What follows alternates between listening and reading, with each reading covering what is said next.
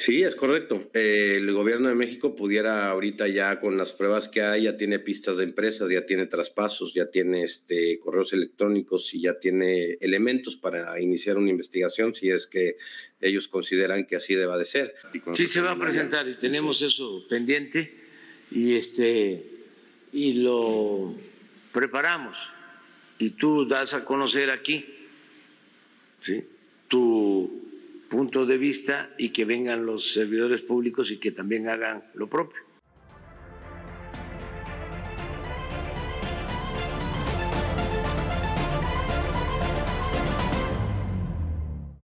¿Qué tal amigos? Bienvenidos a este su canal. Yo soy Fernando Carmona y esto es El Defensor La Verdad.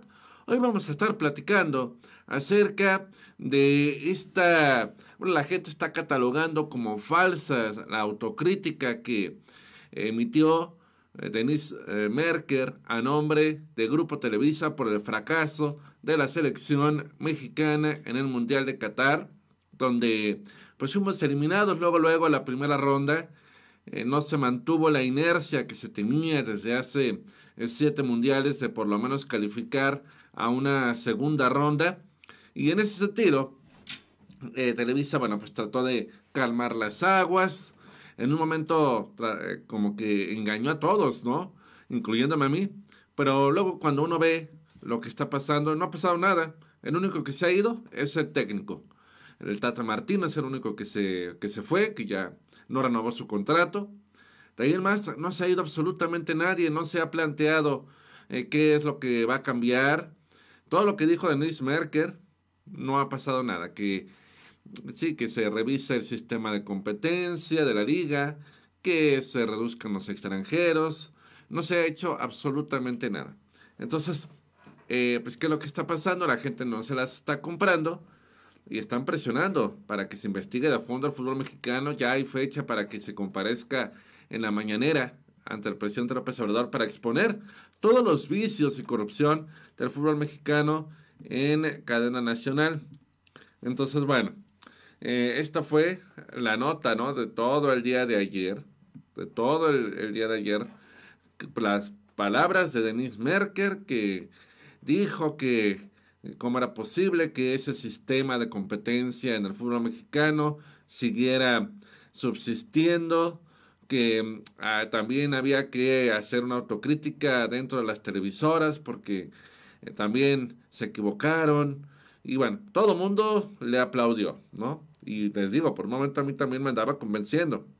Pero después de que vi algunas cosas dije, no, no, no, no, no, no, no, no, no, no va a cambiar absolutamente nada.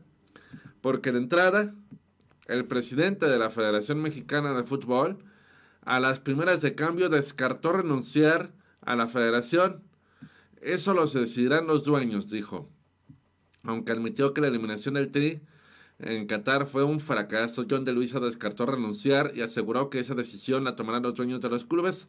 En pocas palabras, Televisa también anunció una reestructuración en los próximos 60 días. Eso es lo que dijo. Y además dijo que por un gol no se había avanzado. No, señor no fue un gol, fue por lo menos cuatro años de malas decisiones por parte de todos.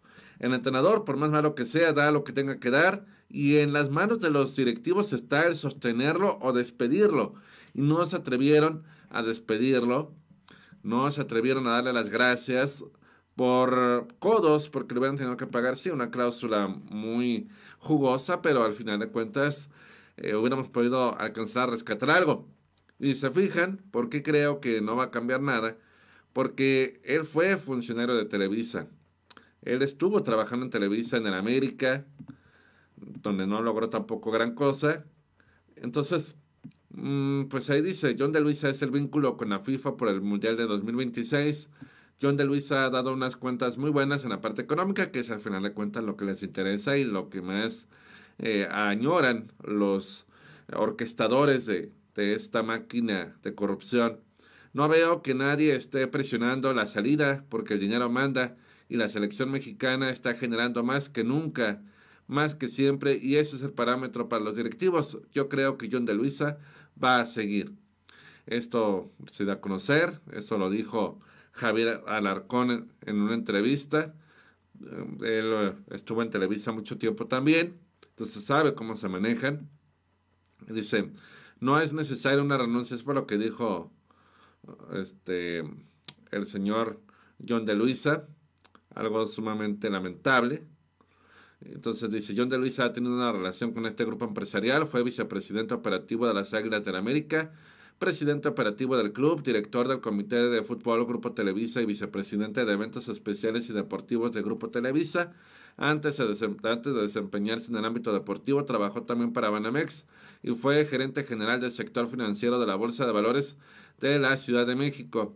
Afortunadamente los efectos que sufrimos durante el 2020 gracias a que tenemos un ciclo mundialista de cuatro años, gran parte de esos efectos por los ahorros y recuperar parte de los partidos, vamos a poder recuperar en 2021 y 2022 esa reducción que tuvimos en 2020, dijo en ese entonces el hombre. Entonces, ahí está, ¿no? Vemos quién maneja los hilos y si lleva dinero, pues es lo que más les interesa. Si en América anda mal, no importa mientras genera dinero, a ellos no les importa. Entonces, eh, por lo tanto, ¿qué es lo que está pasando? Pues la gente obviamente está criticando esta simulación. Televisa simula autocrítica por fracaso de México en Qatar. Internautas los exhiben. ¿sí? Entonces, vamos a ver lo que dice eh, la gente. Esto fue lo que dijo Denise Merker dijo, se tiene que permitir el acceso a nuevos compradores en materia de derechos de televisión.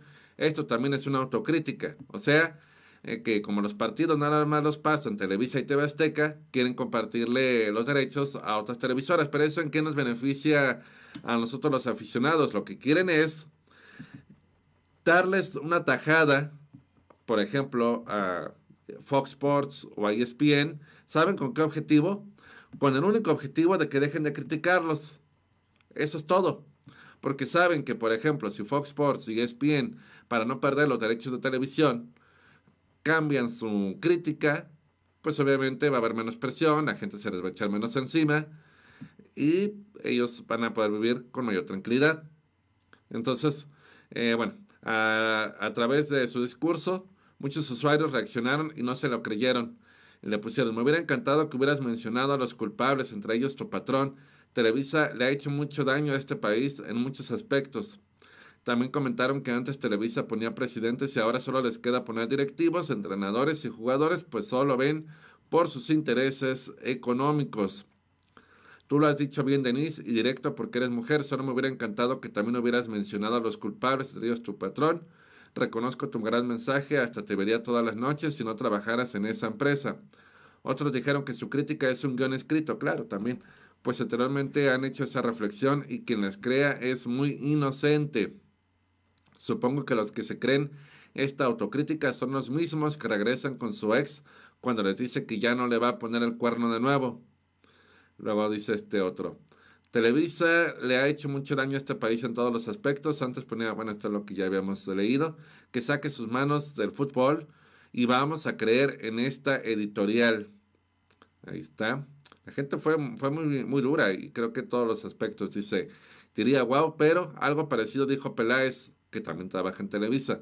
Lo más seguro es que es un guion escrito y seguramente algo harán para que no se les quite todo el negocio. Claro, ahí van a... De entrada, pues ya, el entrenador ya no va a seguir. De entrada, van a eh, traer un entrenador que les gusta a todos. Van a hacer alguna cosa, pero los partidos en Estados Unidos que nada abonan, pues van a seguir allá. Y eso fue lo que dijo Ochoa, precisamente, déjenme buscar esa nota. Ochoa, partidos Estados Unidos. Aquí está. Fíjense lo que dijo Ochoa. Prácticamente en cuanto terminó la participación de México, los amistosos en Estados Unidos no nos van a beneficiar. ¿Sí? El portero de la selección destacó que el tricolor deberá buscar estar en competencias de primer nivel y no, no conformarse con duelos de exhibición tiene que buscar la manera, presionar para volver a jugar una Copa América a nivel selecciones que era bastante atractiva y muy eh, te daba mucho fogueo internacional que en lugar estar en la Copa Oro o, a los clubes la Copa Libertadores, ¿no? que te mides contra los mejores del continente y no nada más contra los de Estados Unidos, que dicho sea de paso, cada vez nos cuesta más ganarles. Entonces, en ese sentido, eh, la gente pues, está tan enojada que están eh, rematando las eh, playeras de la selección en las calles. eso o quemarlas. Eso fue lo que, lo que, lo que estuvieron poniendo. Ahí está. ¿no? La gente está muy molesta y, se las están llevando a Televisa. vamos a ver ahora lo que sigue. Si tanto quiere Televisa que cambie las cosas, pues vamos a ver. Primero vamos a ver el esquema del negocio. Así lo, lo, lo, vean. Ahora, mire, esto que dice es muy delicado. Te mando un fuerte abrazo y qué gusto que estés aquí con, nosotros. Eh, eh, lo que pasó con Sobis, lo que pasó con Funes Mori, pues ya será cosa de FEMS o de, o de Cemex si quieren llegar al fondo, interponer una demanda por fraude, pero lo cierto es que hay un millón y piquito de dólares perdidos, ¿no? De uno y de otro. Pero lo que sí puede perseguir de oficio el gobierno de México es el tema de evasión fiscal en el que están involucrados estos, estos actores, ¿no? Sí, es correcto. el gobierno de México pudiera ahorita ya con las pruebas que hay, ya tiene pistas de empresas, ya tiene traspasos, ya tiene este, correos electrónicos y ya tiene elementos para iniciar una investigación si es que ellos consideran que así deba de ser. Eh, yo la verdad que no estoy en la postura de que, digamos, este, tengan que pagar. Yo lo que quiero aquí es eh, demostrar algo que he sabido en todo el gremio futbolístico o en el ambiente, pero que no se ha documentado y que de alguna manera es una verdad eh, que sucede. Entonces, bueno, ahí ya tienen toda esta documentación misma que se va a presentar, me parece, la siguiente semana en una mañanera donde se va a exhibir eh, esta investigación de nombre Cártel del Gol. Vamos a escuchar. El tema del fútbol este, saber, este, la verdad que todo el tiempo en el Twitter estoy, me están este, eh, informando, entonces para saber, yo ya, di la información que tenía que dar, ya me reuní con eh, este, Mejía, ya también está, hay mucha información ahí con la UIF, ya estuve con este, ¿cómo se llama? Con este, eh, con Pablo, bueno, con Pablo Gómez, pero también estuve con SAT, y hay una coordinación muy, buena entre ellos. La verdad que a mí tampoco me dan mucha información, ¿no? O sea, yo ya presenté lo que tenía que presentar, hasta donde llega un periodista en información, pues hasta ahí topo, pues. Y ellos al parecer ya tienen todo, todo este, eh, pues más armado, ¿no? Entonces, a ver si, si se va a presentar o no se va a presentar. sí, se va a presentar y tenemos eso pendiente y, este, y lo preparamos. Y tú das a conocer aquí, ¿sí? Tu punto de vista y que vengan los servidores públicos y que también hagan lo propio. Sobre el terreno de la donación, este, lo coordino también con Román o con, o sea, con quién. Sí, este, todo el tramo de Cancún, Tulum y Tulum. Bueno, pues eso ya es eh, en cuanto a lo del tren Maya. Entonces, bueno, pues uh, ojalá que que el presidente trate de meter la ideología también de, la honestidad dentro del fútbol mexicano y solo entonces podremos tener o aspirar a una mejor participación en una Copa del Mundo porque todos los aficionados lo merecemos.